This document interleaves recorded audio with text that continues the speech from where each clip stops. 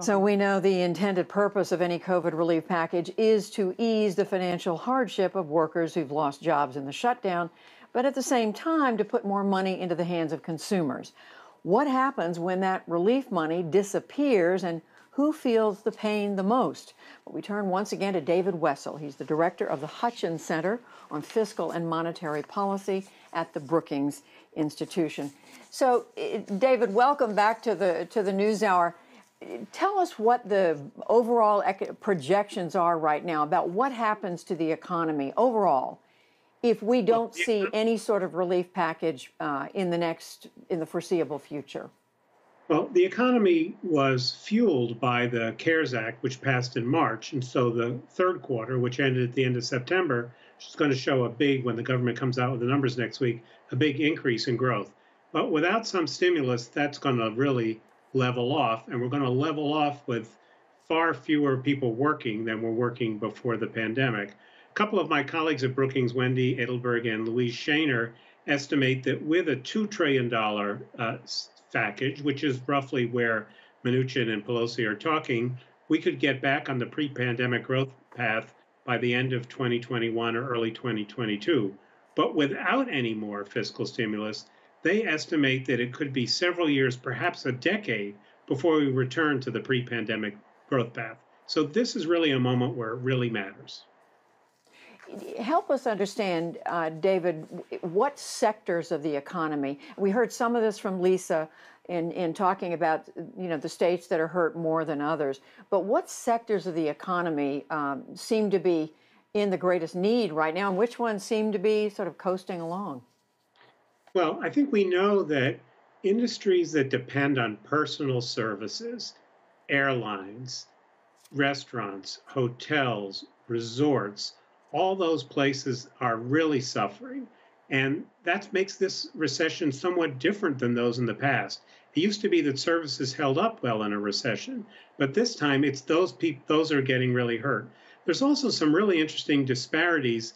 Uh, people who are tracking this very closely say that service industries that serve rich people are actually suffering more because those people are staying home, not going to restaurants.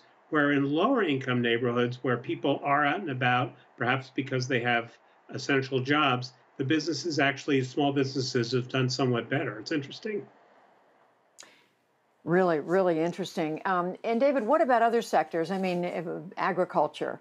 Uh, we have a story coming up later tonight on the, on the beef industry, but just in terms of um, manufacturing, uh, what different kinds of manufacturing, the financial uh, services industry, right. and so forth. What do, uh, what do we see? Yeah. There's actually, it's interesting. So, for instance, housing seems to be doing okay. Mortgage rates are low. We've seen an increase in, in housing sales uh, and new home construction.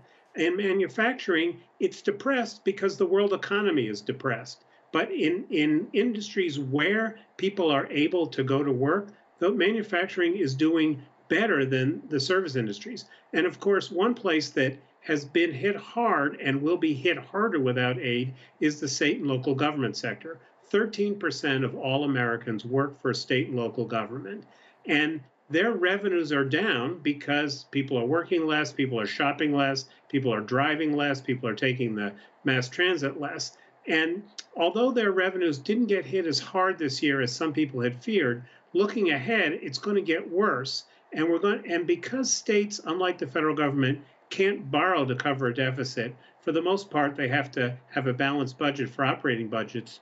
Without some federal aid, I think we're going to see some serious layoffs in the state and local sector in the months to come.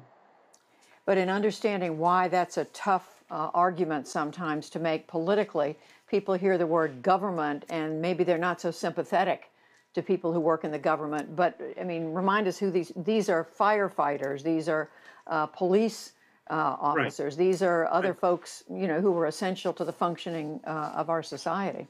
Exactly. They run the prisons. In many cases, they run the hospitals. Their local education is a huge employer. So that uh, we will we will get less service from our local government if they have to cut back. And I don't think people really want that.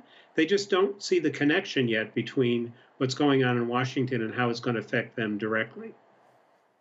I'm asking you all this, David, because I mean there does seem to be this disconnect. I mean we we see, we read about long lines at uh, for food banks, um, people in you know who need help, who are really hurting, and then you just you see the paralysis in the Congress, and and people are asking, what's you know why isn't there a connection? Well, I think it, it tells us that there's a certain dysfunction in our political system where partisan politicians seem to be more worried about positioning themselves for election day and what follows beyond than doing what's needed.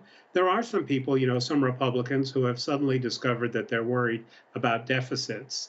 And that's led them to, particularly in the Senate, to say that they don't want to do this. But I think one of the things you have to keep in mind is that there's a lot of talk about this being a K shaped uh, economy, which means that some people are doing okay.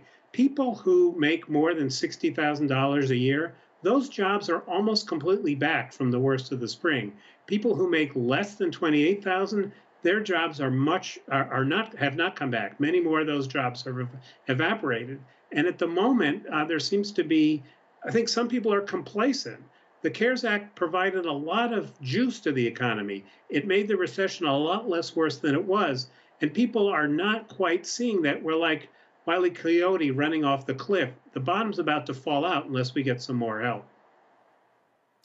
Well, so important to try to understand uh, what is underneath all this. And uh, David Wessel, we thank you, uh, as always, for joining us.